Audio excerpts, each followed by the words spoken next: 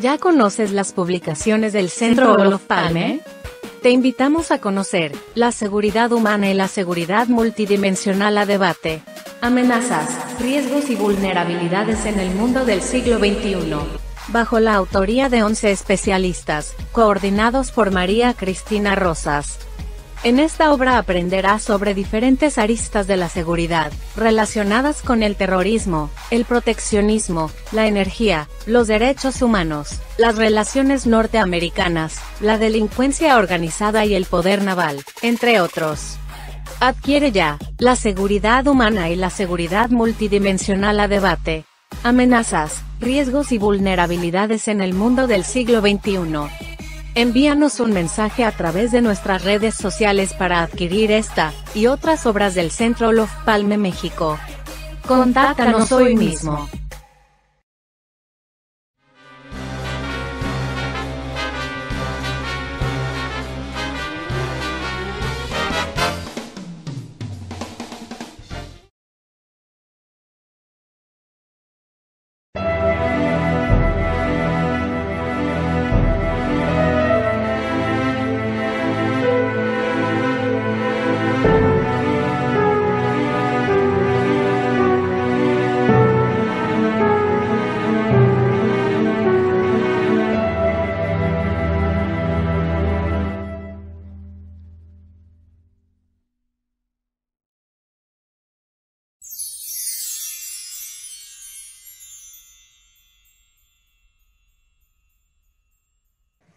Muy buenas tardes.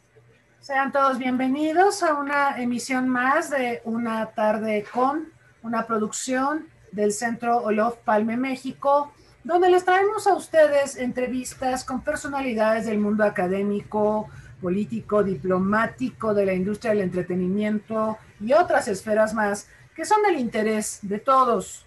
En esta oportunidad tengo el placer, el gusto de darle la más cordial bienvenida al doctor Francisco Rojas Aravena, rector de la Universidad para la Paz, que muy gentilmente ha accedido a estar con nosotros esta tarde desde San José de Costa Rica. Voy a mencionar algunos datos curriculares sobre nuestro invitado. El doctor Francisco Rojas Aravena es doctor en Ciencias Políticas por la Universidad de Utrecht, en Países Bajos, y tiene una maestría en Ciencias Políticas por la Facultad Latinoamericana de Ciencias Sociales, la Flaxo, y se especializa en relaciones internacionales, seguridad humana, integración, sistemas políticos latinoamericanos, negociaciones, teoría y práctica, y seguridad y defensa internacional. Él se desempeñó como secretario general de Flaxo entre 2004 y 2012 y director de Flaxo Chile entre 1996 y 2004. El doctor Rojas Aravena también se desempeñó como profesor de la Escuela de Relaciones Internacionales de la Universidad Nacional de Costa Rica entre 1980 y 1990, profesor en el campus de la Universidad de Stanford en Chile, profesor visitante de la Academia Diplomática Andrés Bello, también en Chile, y profesor Fulbright en el Centro Latinoamericano y del Caribe de la Universidad Internacional de Florida en Estados Unidos. Actualmente forma parte del consejo editorial de varias revistas académicas, entre ellas la edición en nuestro idioma de la revista Foreign Affairs, la revista Pensamiento Iberoamericano en España y la revista Ciencia Política de la Universidad Nacional de Colombia. El doctor Rojas Aravena es un autor y editor prolífico y ha publicado un gran número de libros, así como contribuido con capítulos de libros tanto dentro como fuera de América Latina, muchos de los cuales han sido traducidos a otros idiomas. En 2006, el doctor Rojas Aravena recibió el premio Malinali de la Universidad Autónoma de Juárez, acá en México, por sus contribuciones a la región de América Latina. En 2012 fue distinguido por sus contribuciones a la región eh, eh, por parte de gobiernos como el de Costa Rica, el de Paraguay y de la República Dominicana, por las aportaciones a las reflexiones a la integración entre América Latina y el Caribe. A lo largo de su carrera profesional también ha realizado trabajos de asesoría y consultoría para diversos organismos internacionales y gobiernos de la región. es importante mencionar el que él fue elegido octavo rector de la Universidad para la Paz en el año 2013 y que en 2018 fue reelecto para un segundo mandato. Nos honra mucho, doctor Rojas Aravena, que nos acompaña en esta oportunidad. Le damos la más, la más cordial de las bienvenidas y nuestro agradecimiento, por supuesto, por estar aquí. Muchas gracias, doctora Rosas. Muchas gracias, María Cristina. Es un privilegio estar con usted en el centro Olof Palme, en esta reinvención de la forma de hacer academia, de contribuir y compartir ideas. Así que me siento con un gran privilegio de poder tener esta oportunidad de compartir con usted, con sus estudiantes, con sus amigos y quienes nos están viendo por diversas plataformas. Así que muchísimas gracias. Muchas gracias, don Francisco Rojas. Aprovechamos para dar la más cordial bienvenida también a quienes están aquí en la sala de Zoom con nosotros y a quienes nos siguen en Facebook Live. Y los invitamos, por supuesto, a interactuar con nuestro invitado, a mandarnos sus preguntas y las pondremos a consideración del doctor. Yo quisiera comenzar, eh, quiero comentarle a nuestra audiencia, el doctor Rojas Aravena me envió un documento que publicó recientemente donde analiza pues algunos de los aspectos críticos a los que nos estamos enfrentando en la región, la pandemia por supuesto, la crisis económica, y yo quisiera que compartiera eh, estas reflexiones con nuestra audiencia. ¿En qué punto nos encontramos, don Francisco Rojas, y cuáles son las perspectivas que tenemos a la luz de estos enormes desafíos en la coyuntura actual? Muchas gracias, María Cristina. Creo que estamos en un momento complejo, en un mundo lleno de incertidumbres, con grandes cambios son cambios que se han acelerado, que se mueven muy rápidamente, que dificultan tener una comprensión de lo que está ocurriendo. En lo esencial, lo que vemos es que las potencias han perdido poder, los estados no tienen una, una capacidad efectiva, se han debilitado, y esto trae como consecuencia que encontramos gobiernos muy débiles. Y esa debilidad se expresa en la incapacidad de tener un control territorial efectivo, ejercer un imperio de la ley en todo el territorio nacional. Y esto es válido desde México hasta Chile, desde Argentina al Río Bravo o al Caribe, eh, en todos y cada uno de nuestros países. La pandemia lo que ha hecho es evidenciar, desnudar de manera mucho más drástica todos estos problemas que se venían acumulando en un contexto donde además no solamente el multilateralismo global está en crisis, sino particularmente el multilateralismo latinoamericano y hemisférico, que están en una crisis muy, muy grave que hace que las posibilidades de apoyo desde el sistema internacional, desde el sistema interamericano, para resolver las situaciones críticas en algunos de nuestros países se vea imposibilitada. Y esto hace necesario el preguntarnos nuevamente por qué es lo que está ocurriendo y por qué las naciones cooperan. El tema esencial es que la estructura multipolar compleja, amplia y diversa, compuesta en 193 estados, pero miles de organizaciones no gubernamentales, presionan a los organismos intergubernamentales, pero no hayan respuesta. Esta capacidad más difusa de las grandes potencias genera que los cambios en las relaciones de poder no sean evidentes, pero que se sientan en cada una de las distintas coyunturas. Y esto hace que la afirmación que las amenazas y los riesgos son multidimensionales nos lleva a que necesitamos mirar los distintos aspectos que están presentes. Estamos en un mundo lleno de desconfianza que genera incertidumbre y la incertidumbre es cara, genera más tiempo en los procesos de coordinación genera más dificultades para llegar a acuerdos y aumenta todos los costos de transacción. La confianza permite superar el miedo y posibilita la cooperación. La democracia solo es posible en entornos de confianza. Y otra de las características que tenemos en América Latina es el alto grado de desconfianza en contextos de alta, alta inequidad. Y eso tiene importantes consecuencias en cada uno de nuestros sistemas políticos.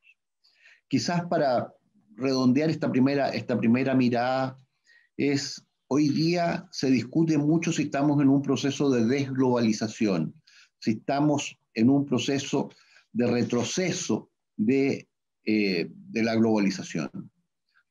Y eso colocado en una perspectiva de un contexto de menor cooperación y de mayor desconfianza global. Las amenazas globales demandan cooperación. Sin ellas no hay solución. Y lo que hemos visto con la pandemia es que no hay una perspectiva global para enfrentar la pandemia. La cooperación es compartir información, compartir ideas, compartir procedimientos. La cooperación es crear una visión compartida. La cooperación es aprender del cambio. Aquellos que hablan de una guerra 2.0 probablemente no reconocen que la primera guerra fría nos tuvo al borde del holocausto nuclear en más de alguna oportunidad y generó muchos problemas en distintas partes del mundo, aunque fue una era posterior cuando se logró generar un multilateralismo de Guerra Fría a ciertos grados de estabilidad en ciertas áreas y de inestabilidad en otras. Hoy día, en la perspectiva de esta nueva competencia entre China y los Estados Unidos, de una nueva forma de competir más en lo militar que en otros aspectos entre Estados Unidos y Rusia, una Europa con menos poder y capacidad de incidencia lleva a que la única alternativa o la alternativa que pienso que tiene oportunidades para resolver esto es lo que pudiéramos llamar, ocupando un viejo concepto económico de por allá de los años 90, de la competencia, es decir, cooperar y competir simultáneamente. Es decir, dado el nivel de interdependencia de Estados Unidos y China, que no lo tuvo con la Unión Soviética, hace que la cooperación es esencial, pero lo que no significa que no deban competir, que no puedan competir en distintas áreas, pero con la racionalidad y las medidas de prevención necesarias para evitar problemas más grandes. En el contexto de la competencia será posible volver a crear confianzas en áreas específicas que lleven a restaurar un sistema internacional de equilibrio que nos permita a los países más pequeños hacer escuchar nuestra voz si somos capaces de concertarnos nuevamente, superando los problemas que hemos tenido en el multilateralismo latinoamericano. Muchas gracias, Francisco. Eh, creo que el diagnóstico es avasallador. Em, y yo me quedaría con una, reflexión adicional. Si se ha hablado tanto de desglobalización y, de crisis de las instituciones, también se ha hablado mucho de que esta pandemia, como toda crisis, genera oportunidades.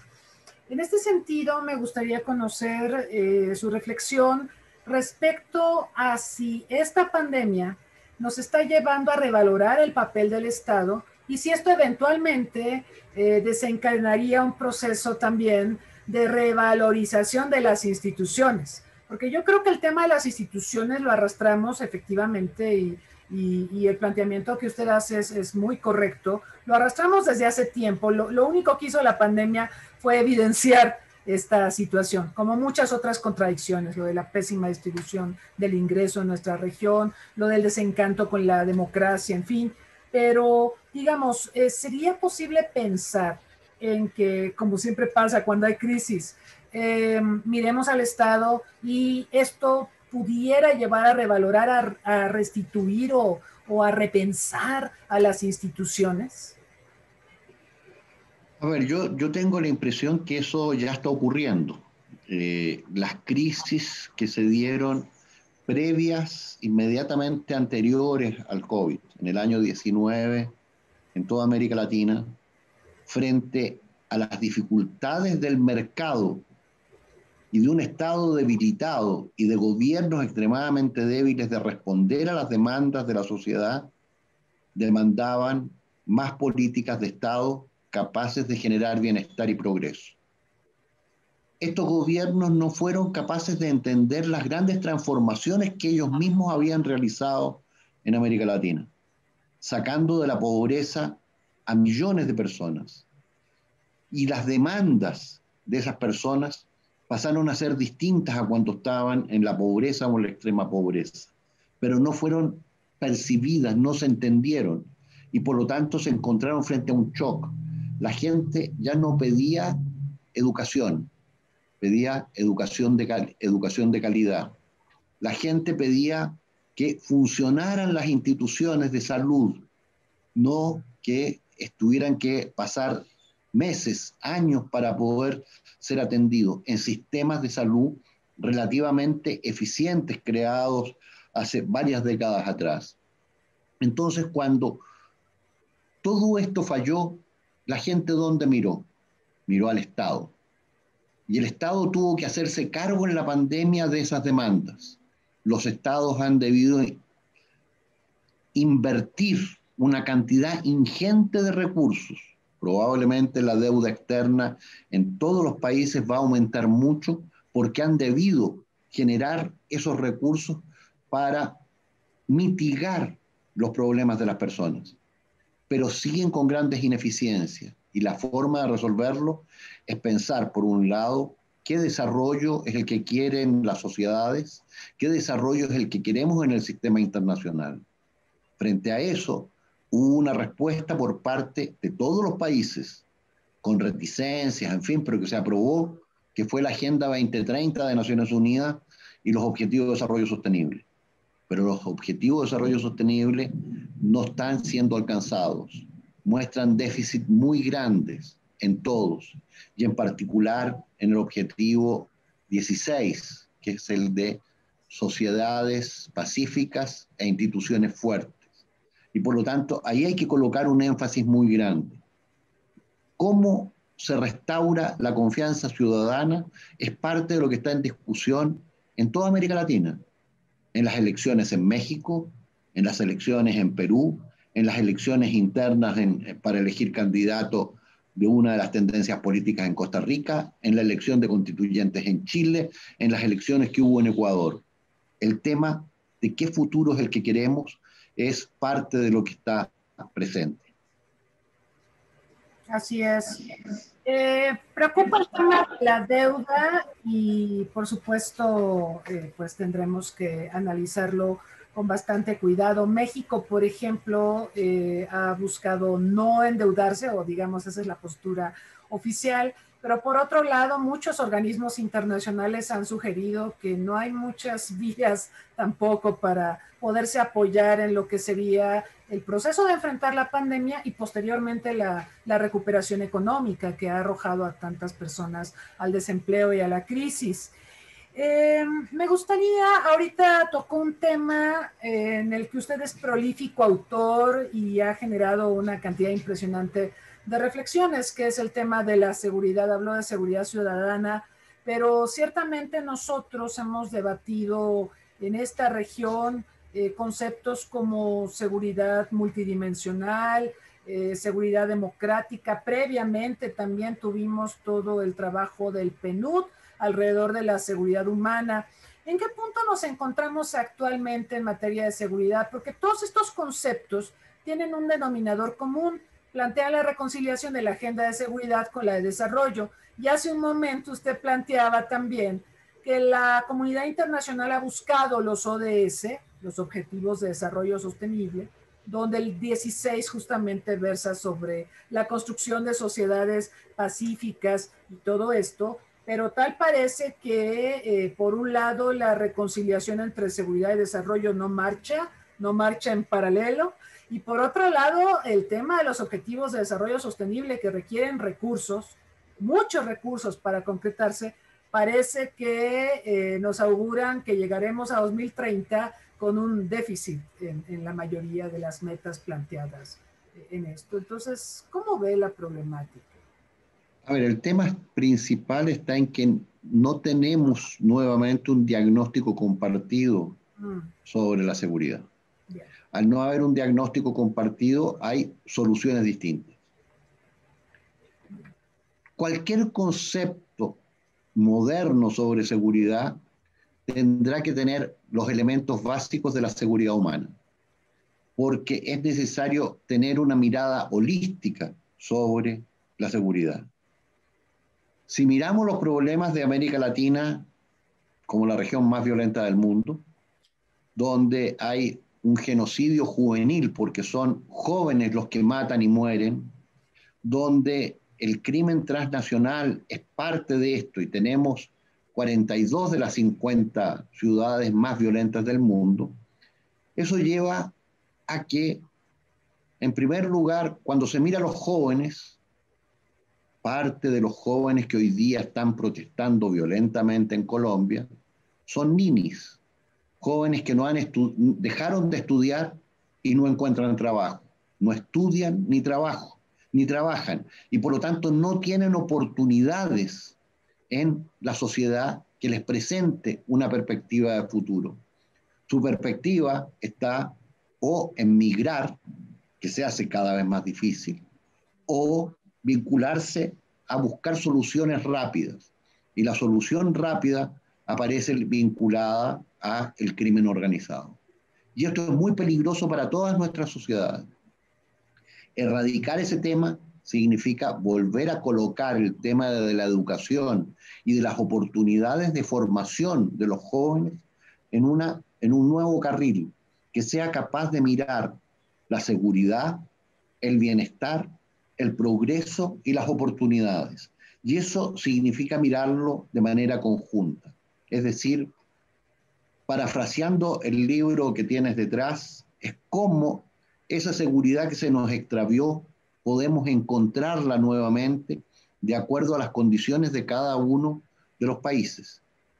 Pero como cada gobierno, cada secretario general, cada nueva autoridad quiere inventar un concepto nuevo, el concepto de seguridad humana, que sigue siendo el básico, se pierde, aparece la seguridad multidimensional o aparecen otros nombres, pero que tienen las mismas bases. Y en eso creo que lo que es necesario es cómo miramos los conflictos internos que se han transnacionalizado en sociedades cada vez más fracturadas, pero que necesitamos defender los derechos humanos, necesitamos evitar las fracturas de las sociedades para poder avanzar en la convivencia, en generar una tolerancia, una relación en los barrios, en las ciudades, que permitan el progreso de todos y cada uno y que sean capaces de arrastrar a estos jóvenes que quedaron atrás por crisis anteriores como la década perdida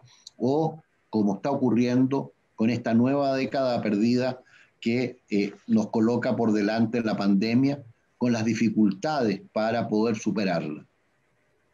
Me parece muy importante la reflexión, sobre todo en el tema de que el marco debe ser seguridad humana, con una visión amplia de los problemas, porque efectivamente lo que hemos visto en, en, esta región y en otras partes del mundo también es que hay diferentes conceptos, diferentes acepciones, se trata o se pone el acento en algún tema, en alguna arista y se descuidan los demás. Digo, en, en México a mí me parece interesante la propuesta del presidente en el sentido de trabajar en, en programas sociales, para coadyuvar al combate de las causas de la desigualdad, ¿no? Programas como Jóvenes Construyendo el Futuro, Sembrando Vidas y demás que incluso han sido llevados o han sido propuestos también en América Central. Eso me parece bueno. Lo, que, lo único que, que yo marcaría es que estos programas parecen estar aislados de una visión amplia de la seguridad.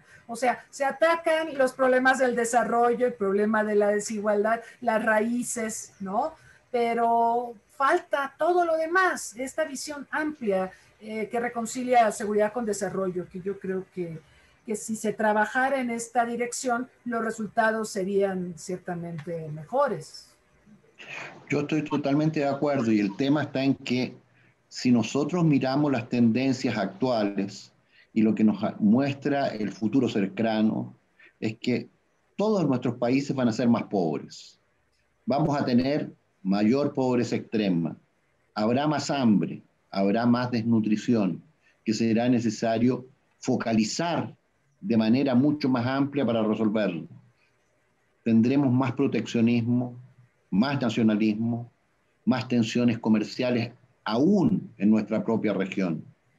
El mesianismo aparecerá con fuerza lo mismo que la polarización. Y eso genera fracturas que demoran muchos años en resolverse en nuestras sociedades.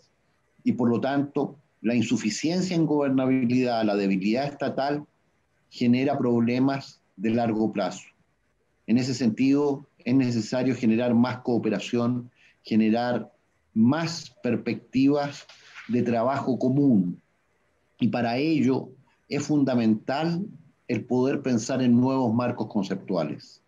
Los marcos conceptuales que hemos heredado, que vienen de una época de comillas, estabilidad, cierre de comillas, de la Guerra Fría, ya no nos sirven.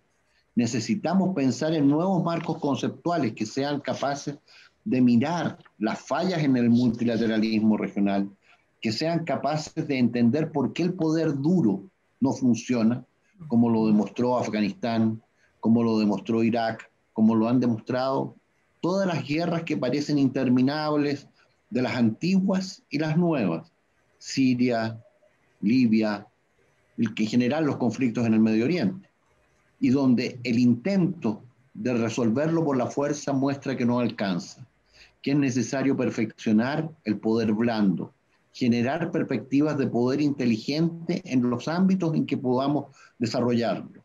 Y por lo tanto necesitamos nuevas formas de interpretación de la realidad para comprender las raíces profundas de los conflictos. Se requieren nuevos mapas conceptuales. Necesitamos a su vez congregar distintos saberes. La pandemia mostró la dificultad de diálogo entre la política y la ciencia y la dificultad de diálogo entre la política y la ciencia ha llevado a que haya retardos para poder encontrar políticas adecuadas para enfrentar la pandemia, para encontrar soluciones médicas, científicas para enfrentar la pandemia. De igual forma, el diálogo científico, el conocimiento debemos juntarlo para poder desarrollar mejores políticas públicas. Y esa es una tarea permanente en la cual las universidades, los centros académicos tienen una responsabilidad muy grande. Y eso creo que la pandemia nos está colocando encima de manera muy, muy importante. Coincido. Eh, antes de continuar, pues quiero invitar a nuestro público a aprovechar la oportunidad de formular preguntas, comentarios para nuestro invitado. Y en este momento le voy a solicitar también al doctor Francisco Rojas que formule una pregunta. Miren, eh, él hace un momento hacía alusión al libro que está aquí a mis espaldas, La seguridad extraviada, apuntes sobre la seguridad nacional de México en el siglo XXI, que es el libro que vamos a obsequiar a quien responda, la primera persona que responda la pregunta que formulará el doctor. Les pedimos por favor mandar su pregunta a registrowebinar.ceop.gmail.com. La primera persona en responder se llevará el libro. Eh, leeremos la respuesta de la persona al aire antes de despedirnos. Y pues, doctor, adelante. Quizás la pregunta es, dado lo que señala el libro, la seguridad extraviada, ¿qué se requiere para encontrar el camino a la seguridad en México y en América Latina? Muy bien. Muy bien, bueno, pues ahí está la pregunta. Esperamos sus respuestas a registrowebinar.ceop.gmail.com.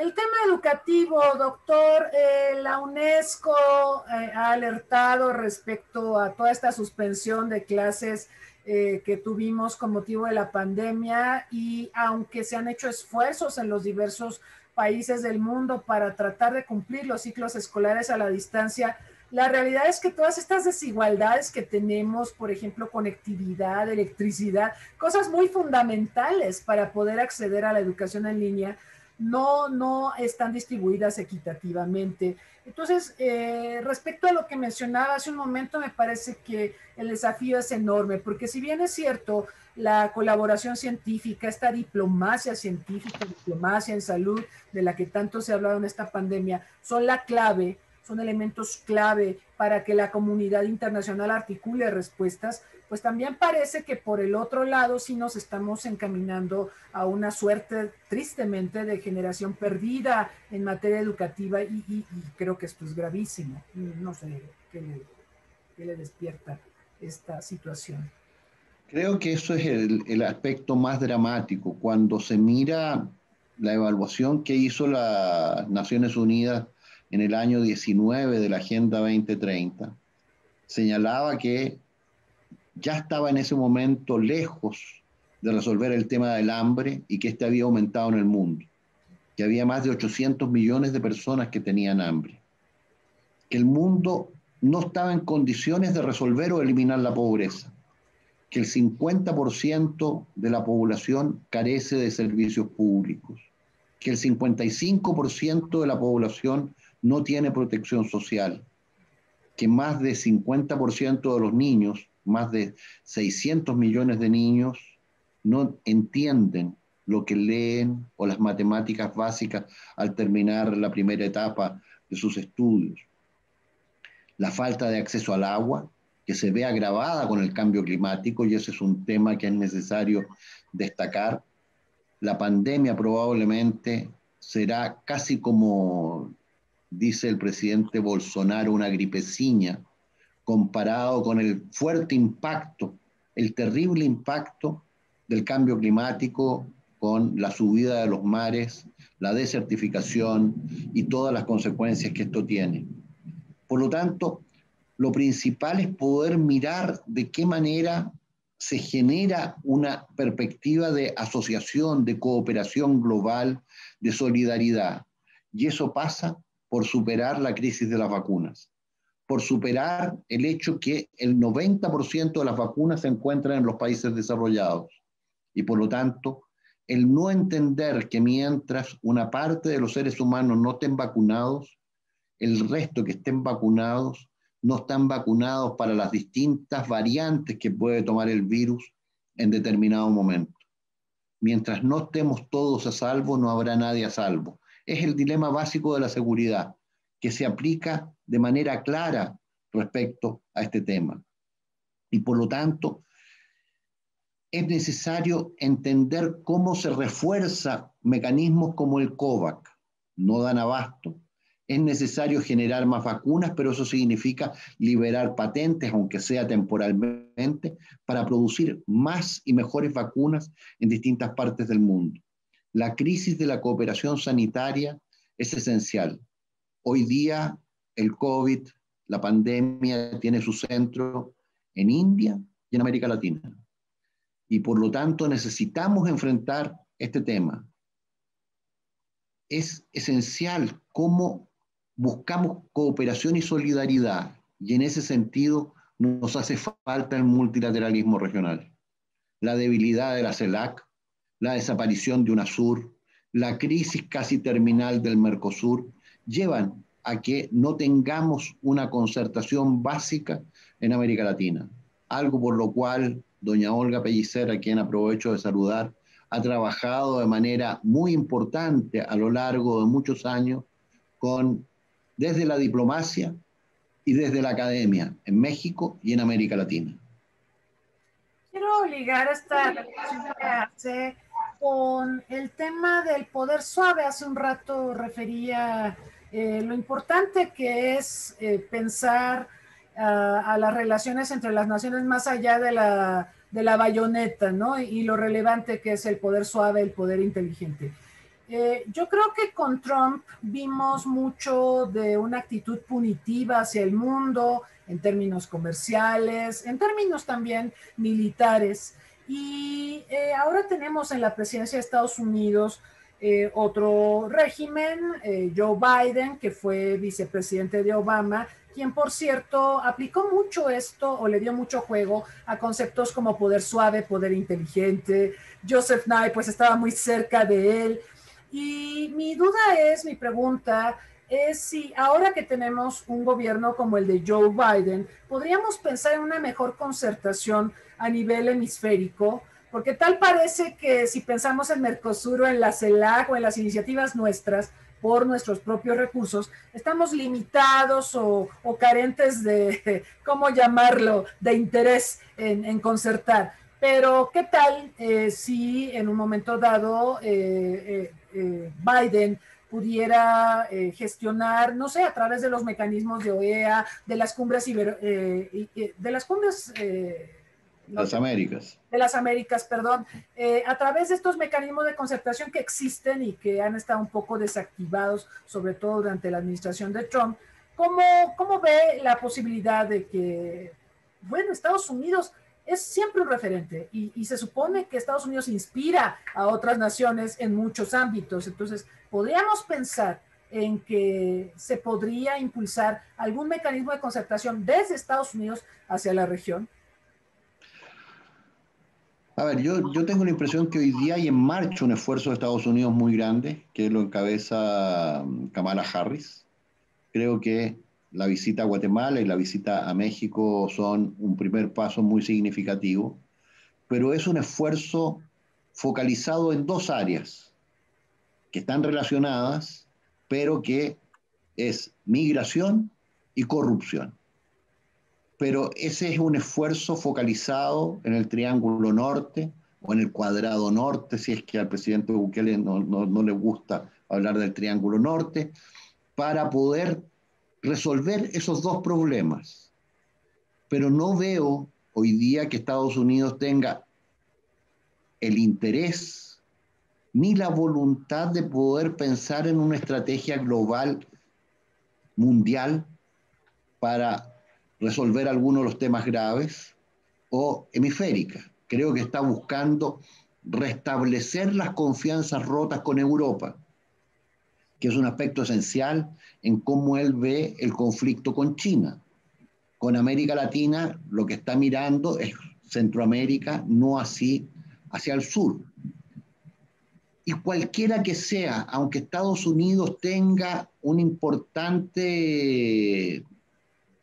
capacidad de generar iniciativa, si los latinoamericanos no somos capaces de superar nuestras propias deficiencias, los vetos políticos que generamos en el marco de los procesos de integración, de concertación, de búsqueda de acuerdos en la región, no tendremos alternativa. El problema está en que hoy día no se ven esfuerzos por reconstituir los consensos esenciales en América Latina. Los gobiernos están pensando en su propia perspectiva. Puede ser que tengan un discurso más o menos respecto a la región, pero con cero acciones. De alguna manera son acciones que no ayudan en, esta perspectiva. Y eso hace que hoy día no tengamos por lo que hemos luchado tantos años, y en ese sentido nuevamente me acuerdo con Olga de reuniones en distintas partes del mundo, pensando cómo construimos una voz propia para América Latina. Y esa voz propia en América Latina hoy día dejó de existir porque Brasil rompió con el multilateralismo global respecto al Amazonas, al cambio climático, y ha roto con el multilateralismo latinoamericano.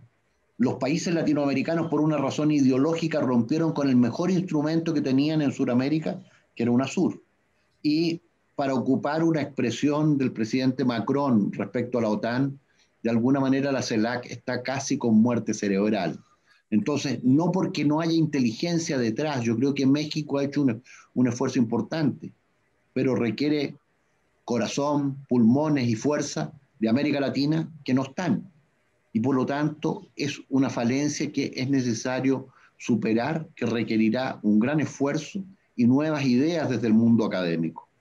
Esas ideas probablemente deben provenir de las nuevas generaciones. Entender la comunicación de mejor manera para poder colocar en el centro nuevas ideas que permitan concertar a la región. Es verdad. Hace unos días veíamos la cumbre de Mercosur por sus 30 años y vimos cómo terminó muy mal eso, ¿no? Todo el mundo culpándose, peleándose Argentina con Uruguay. En fin, eh, ese parece que es el signo de nuestros tiempos, lamentablemente. Y, yo recuerdo muchos análisis, por ejemplo, hechos desde acá, desde América Latina, que critican a la OEA y dicen, es que estar en la OEA es como estar con un tiburón y nosotros somos los pececillos. Bueno, sí, pero lo que pasa es que los pececillos no concertan tampoco, entonces para el tiburón ciertamente hay más margen de maniobra, es el famoso Martín Fierro, ¿no? Cuando los hermanos pelean, los devoran los de afuera. Exacto, exacto. Sí, además en, el, caso de la OEA también puede ser visto que es el único espacio, el único foro donde los países pequeños pueden ser escuchados por el tiburón. No hay otro. No hay otro. Y esa es la importancia de la OEA, que es distinta a la importancia que tuvo y que puede tener la CELAC como institución que refleje los intereses prioritarios del conjunto de América Latina como actor para dialogar con los grandes actores internacionales, con Estados Unidos respecto a algunos temas, con China respecto a otros, con Europa, con Rusia, con Turquía, y por lo tanto tener una perspectiva distinta. Es cierto, es cierto. Yo creo que de repente vemos intentos de diálogo entre algunos países de la región, México y Argentina, por ejemplo, pero, pero no logramos jalar más atención, no logramos atraer a otros. Y, y claro, el que Brasil sea tan discordante tampoco ayuda mucho, entonces es un momento muy complicado para la región. Mire, tenemos la respuesta de Carlos del Moral para el tema del libro. Eh, vamos a leer la respuesta. Dice, se requiere de una prevención contra la corrupción y permitir que las generaciones tengan la oportunidad de progresar para evitar que se genere un cúmulo de personas sin posibilidades y que se sientan desechables y terminen con ligarse al crimen organizado. Se necesitan líderes verdaderos que no tengan un precio y que busquen la protección de los derechos humanos. ¿Cómo ve la respuesta, don Francisco? Creo que es una buena respuesta. Creo que en el, en el ámbito de la prevención yo agregaría que es necesario generar más Estado de Derecho, más capacidad de promoción de la ley, porque en contextos de inseguridad no hay derechos posibles. En espacios donde la violencia, la polarización se imponen, no es posible ejercer ningún derecho en especial el derecho a la vida o otros derechos humanos fundamentales. Pero creo que, tal como lo señaló quien respondió, aborda los temas principales y leyendo el libro de la seguridad extraviada probablemente tendrá mejores respuestas para avanzar en este camino. Muchas gracias, eh, vamos a aprovechar para preguntarle sobre la Universidad para la Paz, sobre esta institución de la que usted es rector bueno, usted tiene una amplísima experiencia en instituciones como las Flaxos, la de Chile, la, Secretaría General, pero pues que nos cuente un poco del trabajo que hace la Universidad para la Paz y creo que esto es del interés, obviamente, para nuestras audiencias. Bueno, la Universidad para la Paz tiene 40 años de existencia. Fue creada en el año 1980 por la Asamblea General de Naciones Unidas. Esta idea del presidente Rodrigo Carazo tuvo que ver en el contexto de la crisis centroamericana con un bombardeo que realizó un señor llamado Somoza, que era un dictador de largas décadas familiares en Nicaragua. No me estoy refiriendo a temas actuales, me estoy refiriendo a temas de hace 60 años, de 40 años, donde había esta dictadura familiar en Nicaragua. Y eso hace que ese bombardeo casi por poco cae sobre una escuela. Y el presidente Carazo, en forma inmediata, hizo un arreglo y tomó un avión a Nueva York, a Naciones Unidas. La expectativa que había es que iba a pedir cascos azules, cascos de Naciones Unidas para intervenir la frontera y evitar este tipo de situaciones. Pero no, el presidente Carazo llegó a Naciones Unidas y dijo, quiero que Naciones Unidas apruebe una universidad para la paz que contribuya a cambiar la mentalidad de las personas tal como lo plantea la Carta de la UNESCO a través de cursos de formación en este ámbito. Eso significó el inicio de un debate en Naciones Unidas que duró el año 79 y el año 80, y al final del año 80 la Asamblea General creó la Universidad para la Paz como una entidad autónoma independiente, que ha sido suscrito el Tratado Internacional de la Universidad por 42 estados del mundo, algunos de los estados eh, miembros permanentes del Consejo de Seguridad, prácticamente la totalidad de los países latinoamericanos.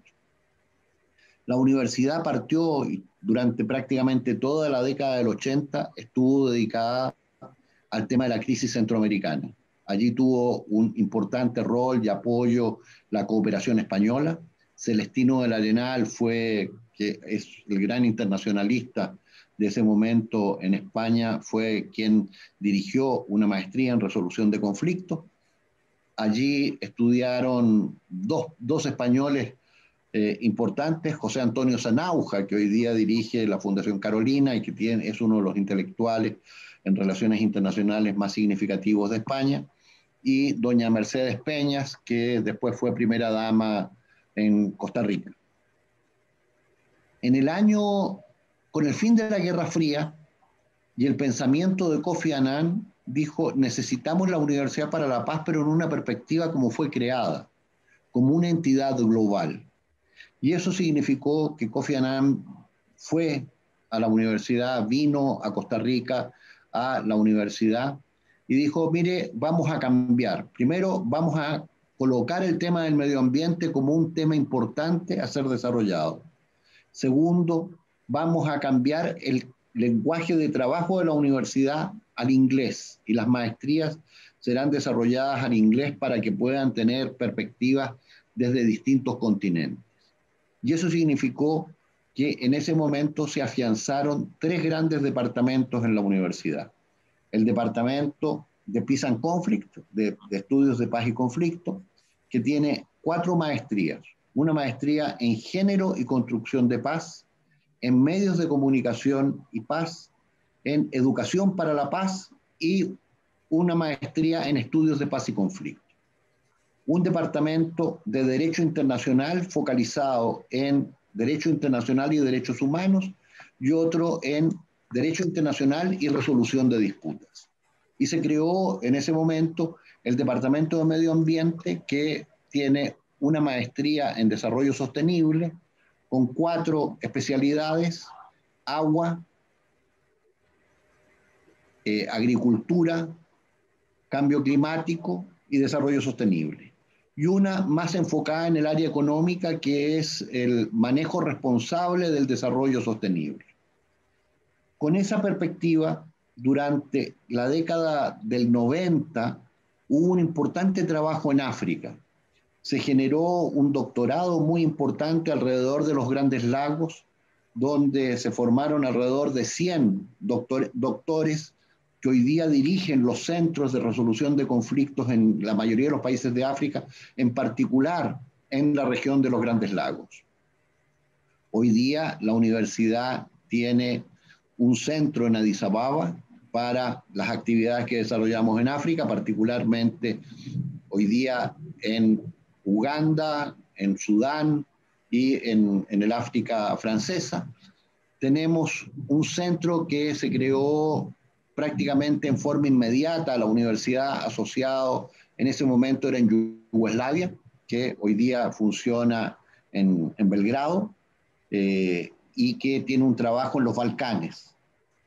Tenemos un centro en, en La Haya que mira los temas vinculados a los temas judiciales internacionales, la Corte Penal Internacional, la Corte Internacional de Justicia, en fin. Tenemos un centro en Filipinas y tenemos un programa doctoral en Pekín. Y esto hace que la universidad tenga este carácter global. La universidad funcionó trabajando en inglés hasta mi llegada, lo que busqué fue también abrir una oportunidad para volver a enseñar y generar líderes en América Latina. Y eso significó que abrimos una maestría en español pensando casi como un resumen de la universidad. Es resolución de conflictos, paz y desarrollo. Y esto tiene una, una, perspectiva que eh, es para todo el mundo iberoamericano, digamos, de, de, manera importante. La universidad tiene, además de esto, tenemos, hemos desarrollado en el último tiempo de manera asociada una maestría sobre ilícitos internacionales, particularmente vinculada al lavado de dinero, que está enfocada en funcionarios bancarios de, de agencias de agencias de, bienes raíces y otros para poder entender cómo funciona esto.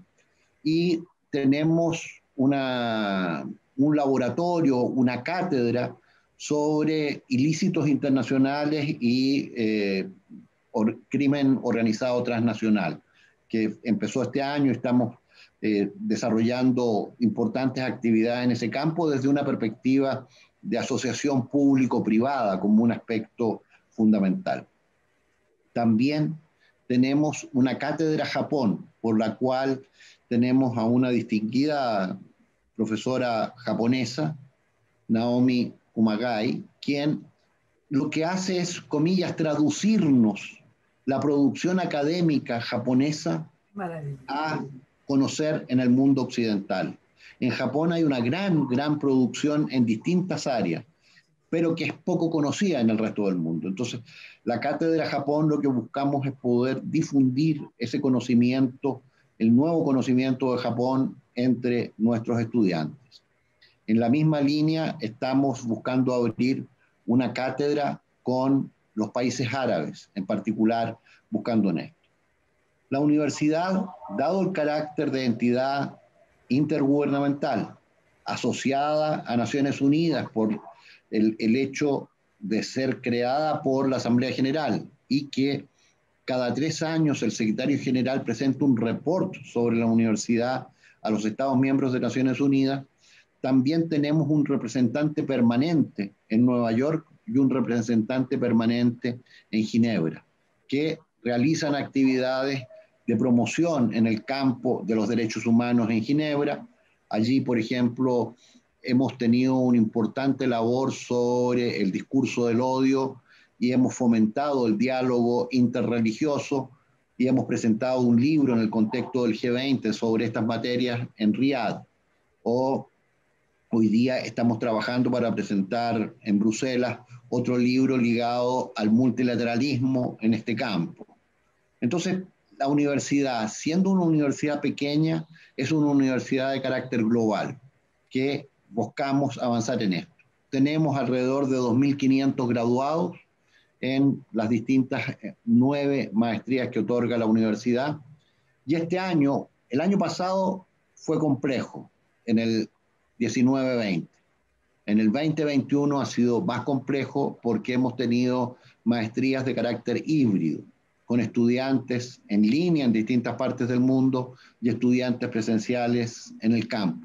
Eso ha significado un trabajo muy importante por parte de los profesores para poder mejorar el uso de, las, de las nuevas tecnologías en la enseñanza y poder desarrollar mecanismos de comunicación eficiente para tener ejercicios que hagan más viable esta perspectiva.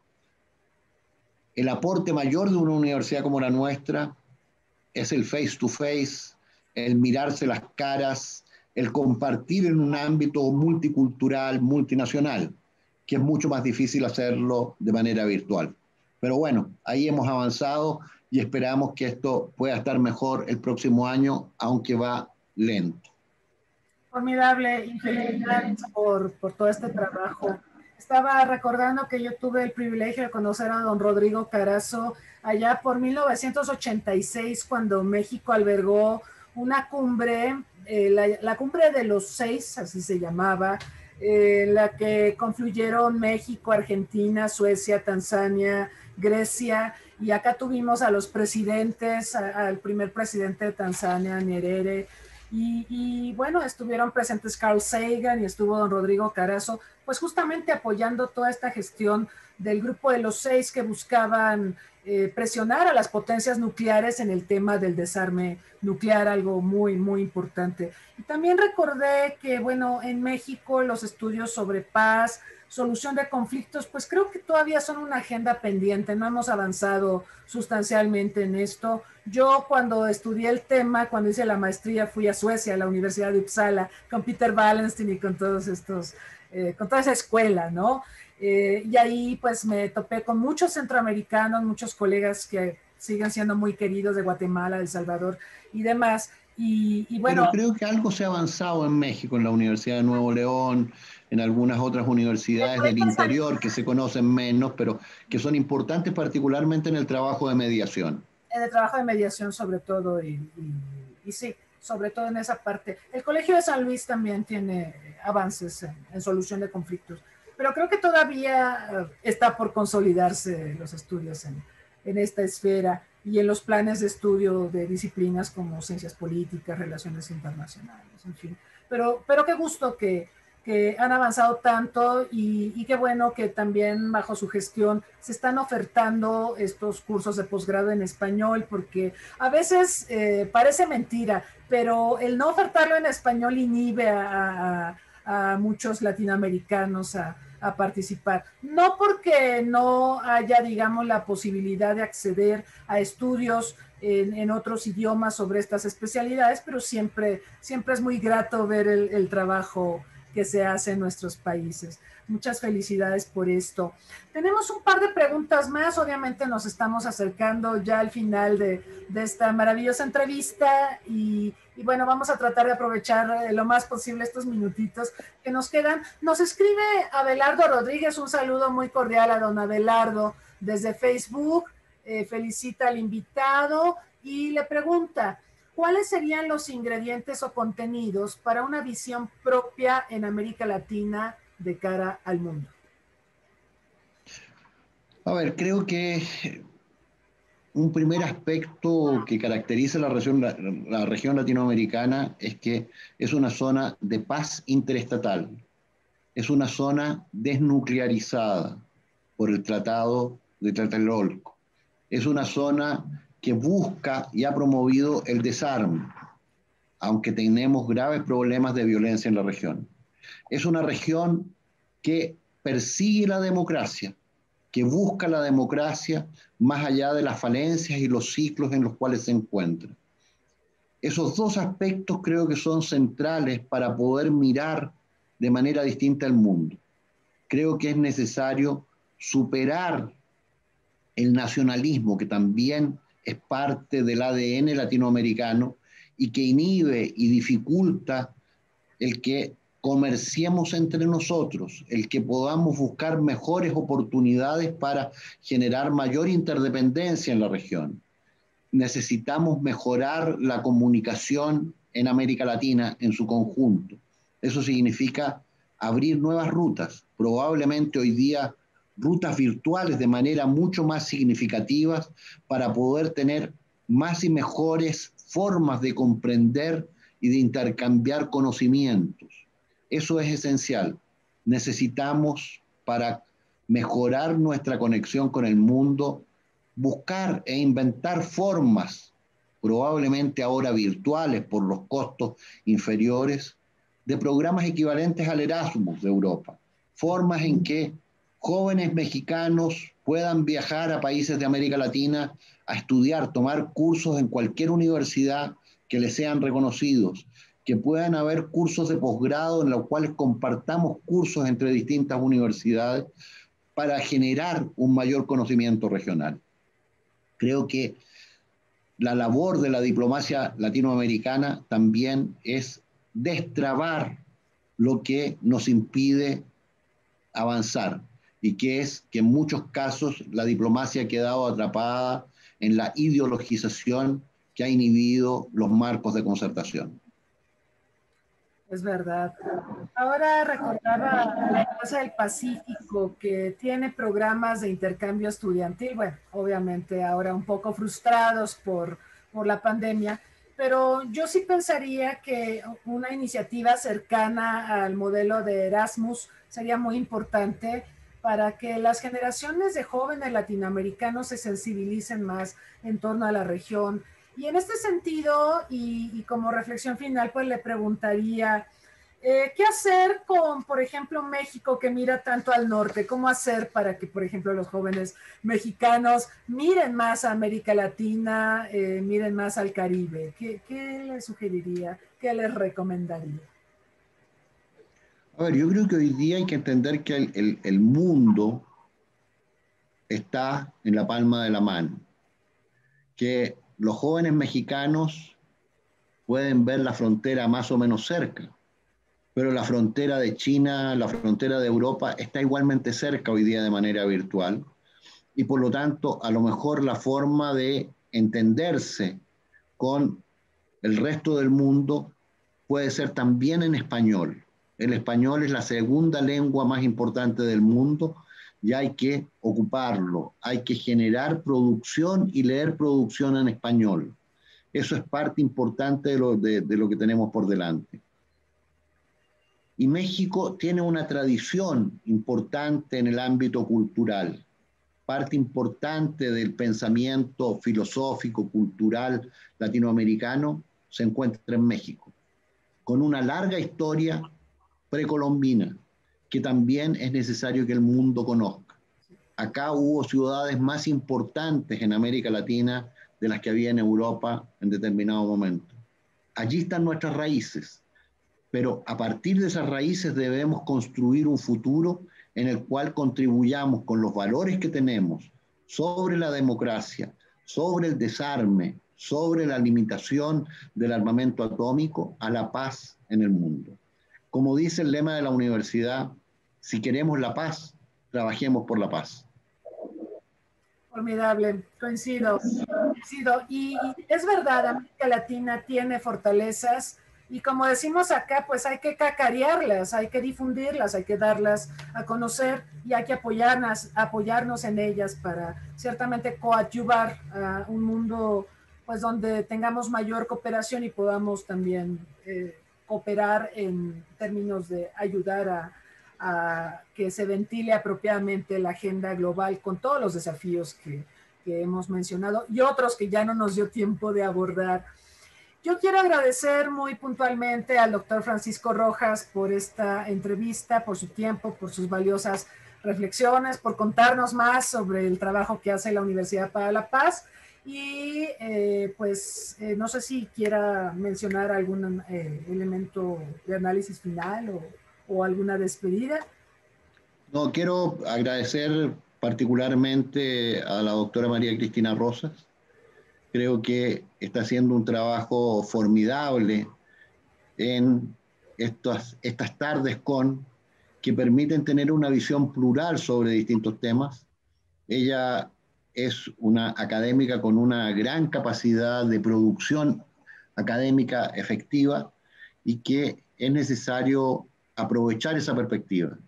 De alguna manera, los temas que, que coloca en la agenda son prioritarios, es importante seguirla, ver qué cosas son las que sugiere. Y creo que las sugerencias de los libros del, del, Centro Palme y algunos otros son fundamentales. Así que yo me siento muy honrado de haber compartido ideas con María Cristina Rosas, con la doctora Rosas y con todos ustedes. Así que Muchísimas gracias, me siento muy honrado. Muchas gracias nuevamente a don Francisco Rojas por habernos acompañado. Gracias a quienes estuvieron aquí en la sala de Zoom y a quienes nos siguieron a través de Facebook Live. Apreciamos mucho que eh, nos hayan acompañado. Los invitamos, por supuesto, a la sesión del jueves. Eh, tendremos nuestro acostumbrado webinar sobre COVID-19 y la gestión de crisis en el mundo complejo. Y eh, bueno, estaremos abordando el tema del impacto del COVID en la ciudad. Es un tema que es fundamental considerando que tendemos a ser cada vez más urbanos en el mundo y esto ciertamente tiene consecuencias para la salud, para la movilidad, para la sustentabilidad ambiental y tantas otras cosas. Entonces, estaremos analizando este tema. Los invitamos también para el 29 de este mes. Vamos a recibir a una pianista muy afamada, Polly Feldman, quien pues en un giro completamente distinto a lo que hemos estado abordando en estas tardes, nos hablará de un proyecto muy interesante sobre mujeres y tango, el tango que es esta música tan tan reconocida de Argentina, pero que también muchos la perciben masculinizada. Y ella tiene todo un proyecto donde eh, ha incursionado en el tema mujeres y tango. Nos platicará de esto, también interpretará algunas piezas, será una delicia tenerla con nosotros. Y por lo demás... Eh, los invitamos a que se informen sobre nuestras actividades, a que nos visiten en nuestras redes sociales, nos den un like si así lo desean. Y nuevamente agradecemos su presencia y nos vemos hasta la próxima. Muchas gracias. Bonita tarde. Gracias, Cristina.